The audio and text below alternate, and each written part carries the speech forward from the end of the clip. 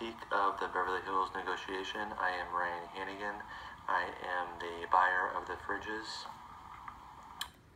Our strength is regarding the target point. Uh, initially, during opening offers, I did not reveal my target point uh, when I was asked when I needed the fridges by. Uh, I did not give an exact time frame. Instead, I tried to gain their target point uh, by asking directly when they could deliver, as heard in the first audio clip. When are you looking to receive these items? Well, I, you know, I already have several customers that are interested, so the sooner the better, and so I can fulfill those orders and for my customers to keep them happy. You purchased from us in the past. is regarding the resistance point. Uh, the seller informed me that they could have the fridges delivered at a 14 week delivery time. Uh, initially, uh, informed them that this was a walkaway point, uh, determining that this was a resistance point, that I would enact my BANTA um, and look for another company that could deliver quicker.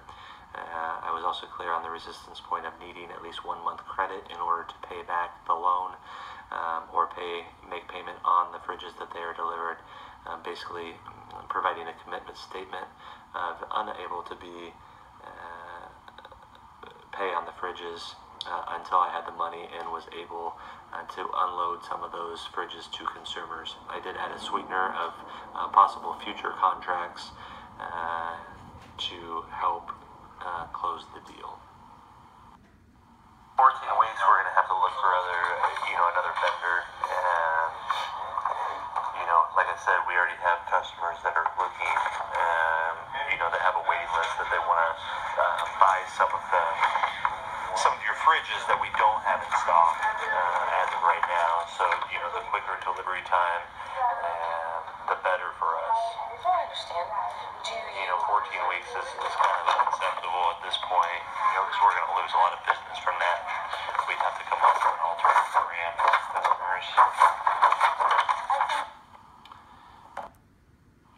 uh, is not having a good background information and not knowing the full bargaining mix uh, that is involved with the inventory and the negotiation. Uh, I should have also tried to change her perception of why we needed the fridges quickly in order to increase the delivery time and uh, come up with as many variations as possible. you purchased from us in the past, so do you still have some items in stock? Uh, um, I'm not really sure. Um, you know, I'd have to contact our sales team, but um, you know, on those hundred fridges that we ordered, and you know, we our inventory is lower than than expected. Uh, Well, I tell you, I got to. And my second weakness is making the first commitment on variation types down to six or seven during the opening offer. Uh, making this commitment decreases um, the room for later concessions. Um, should have tried to get the seller to commit first, uh, as heard in this last audio clip. nine product variations, and we probably don't need all nine types. Um, you know, we could narrow that down, to maybe six or seven types, um, if that would allow you uh, to get it more, you know, in a two to three week time frame.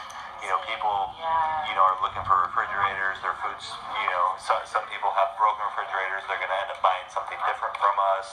Uh, you know, if they don't have that option, you know, they're not going to wait around for two months in order to, to get a new fridge when they need something to keep their, their food cool